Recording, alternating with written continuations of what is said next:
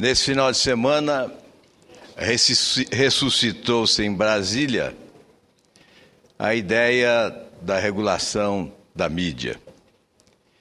Esse é o tema essencial que me traz à tribuna nesta segunda-feira.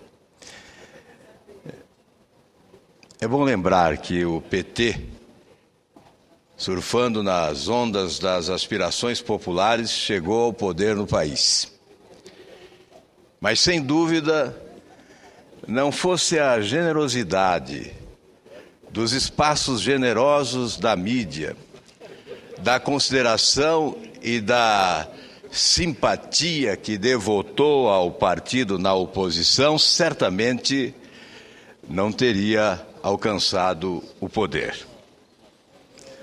Considero, portanto, uma manifestação de ingratidão ímpar, o PT no poder amaldiçoar a imprensa, como vem fazendo, especialmente nas últimas semanas, inconformado com as denúncias de corrupção no governo.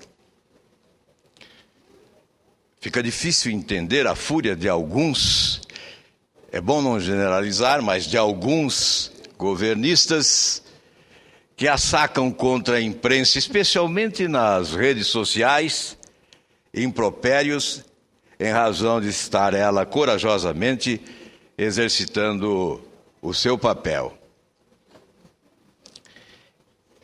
Coincidentemente, uma socióloga da minha cidade de Londrina, no Paraná, a senhora Maria Lúcia Vitor Barbosa, antes deste congresso do final de semana, redigia algo que tem muito a ver com estes acontecimentos. Ela inicia o seu artigo, sempre brilhante, dizendo o seguinte: Em 1914, Robert de Juvenel dá o título de O Quarto Poder a uma das partes de sua obra, A República dos Camaradas.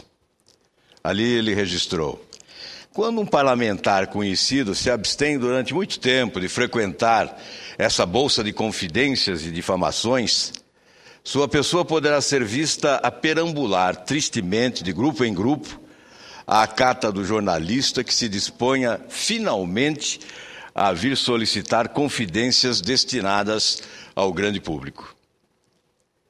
Ele mostrou assim a força do quarto poder ou seja, dos jornais do seu tempo. Ele não podia imaginar a influência que teriam mais tarde o rádio e a televisão sobre a massa.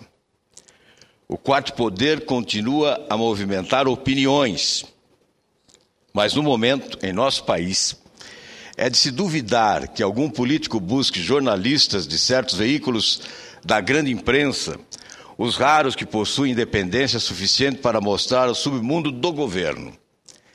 Desses jornais e revistas, os políticos devem estar fugindo como o diabo da cruz. É que o quarto poder anda derrubando ministros, mostrando com fatos e documentos a máfia no que se transformou o governo do PT e de seus aliados.